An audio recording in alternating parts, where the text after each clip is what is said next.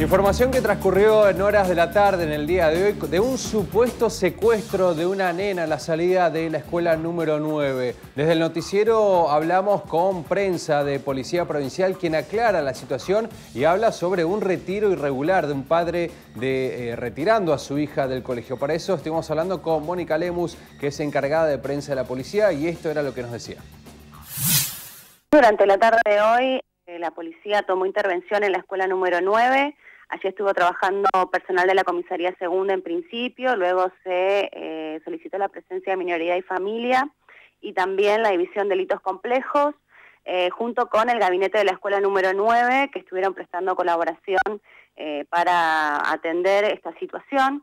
en principio hay una denuncia efectuada sobre una menor que habría sido sustraída del colegio se están investigando eh, y recolectando las pruebas para determinar justamente qué fue lo que sucedió.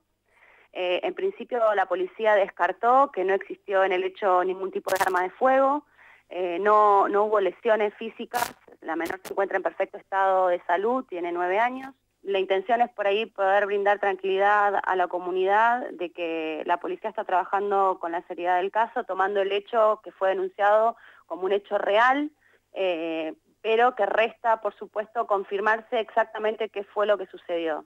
Es muy normal en una sociedad, en una comunidad tan chica como la de Tierra del Fuego, eh, que rápidamente circulen diferentes versiones, eh, muchas bien intencionadas, pero eh, que, nada tienen que ver con, la realidad de lo, que, de lo que estaba sucediendo.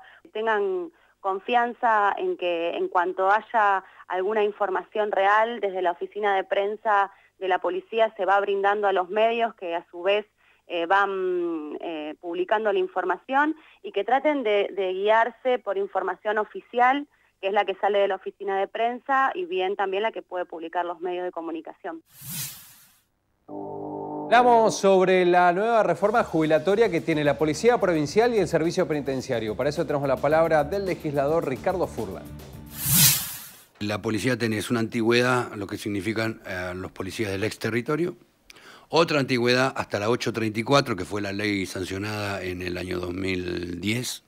Y vamos a tener otra antigüedad a partir de la sanción de la ley que aprobamos en el día de ayer, que va a tener otra, otro número seguramente.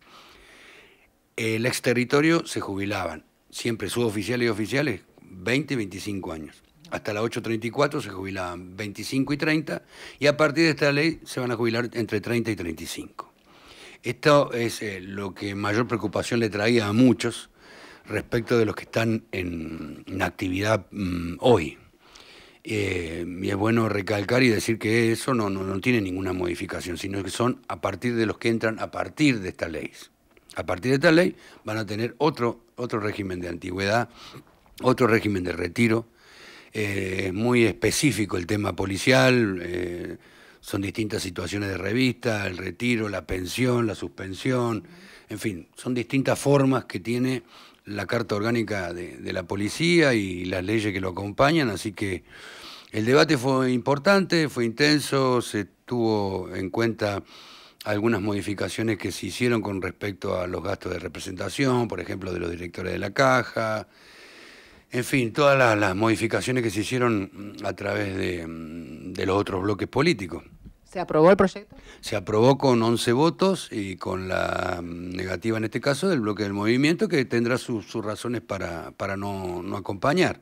Que quedaría estipulado una jubilación para oficiales y suboficiales de la policía. Así es, este, todo el rango, todo lo que significa el rango policial eh, todos los que están eh, dentro de lo que significa la fuerza policial y el servicio penitenciario. No nos olvidemos que tenemos un poco más de 1.600 efectivos policiales y un poco más de 260, 270 efectivos en el servicio penitenciario.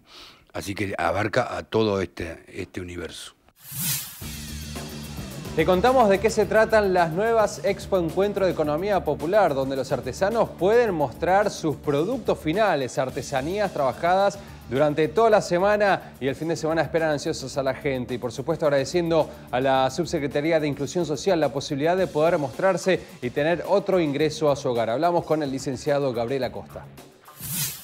Es un espacio de comercialización que se viene realizando hace bastante tiempo y bueno, desde nuestra gestión lo que intentamos es trabajar con otros ministerios para poder ampliar este espacio de comercialización y bueno, hoy por suerte hay alrededor de 60 emprendedores, manualistas y artesanistas que nos acompañan eh, en todas las épocas. ¿Se han ido sumando nuevos emprendedores? Sí, siempre hay nuevos emprendedores, siempre hay nuevas propuestas, eh, que eso nos pone contentos porque el público que, que viene y que se acerca siempre encuentra algo alternativo, algo nuevo. ¿Cuáles son justamente los productos que ofrecen eh, estos pequeños empresarios? Bueno, lo interesante es que, es que hay de, todo, digamos, hay em, emprendimiento de, todo tipo. Hay en lana, hay de cerámica, hay de madera, eh, bueno, también hay productos de, limpieza, jabones, eh, bueno, y siempre hay algo nuevo, algo interesante para, ver y para llevarse interesados en poder sumarse a esta propuesta, ¿a dónde deben acercarse? Bueno, a la Dirección de Economía Popular, que queda en tira 4 de las 60 viviendas, Casa 28. Repasamos la farmacia de turno para la noche de hoy. A ver, ¿qué tenemos? La farmacia mercantil ubicada en Gobernador Paz 679, el teléfono 43 26 48. Farmacia mercantil. Como ya saben, a partir de mañana también a las 21 horas estaremos aquí, nuevo horario, el noticiero de edición central en el transcurso de esta semana. Recordemos, jueves y viernes santo, no habrá noti, pero sí la semana que viene, nuevo horario, 21 horas. Pasamos un breve comunicado. La DIPOS informa a los usuarios que mañana martes, personal de la dirección eh, estará trabajando en la implantación de redes en la entrada al barrio Andorra. Por eso mismo se va a ver afectado. A partir de las 18 horas se va a ver restringido el uso del agua. Entonces ya pasado este comunicado, nosotros nos despedimos. Será hasta mañana a partir de las 21 horas. Que la pasen bien. Buenas noches y gracias.